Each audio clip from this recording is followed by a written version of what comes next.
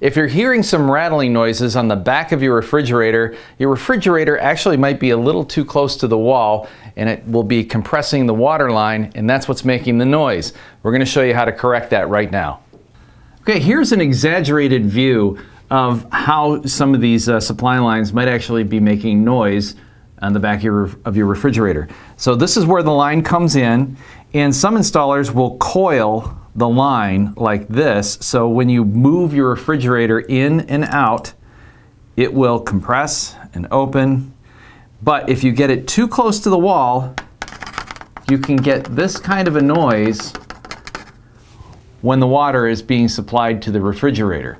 So you just want to pull it back out just enough so that you're not going to get this noise. That's all there is to it. Now here's a different scenario where you don't have a coil, you just have the line like this. So when you move your refrigerator back and forth, the line just comes back and forth like this. But if it's too close, again, you can get this rattling noise. So you want to get your refrigerator back out just a little bit to prevent that noise from happening. And that's how you solve that problem. Remember to always refer to your use and care guide.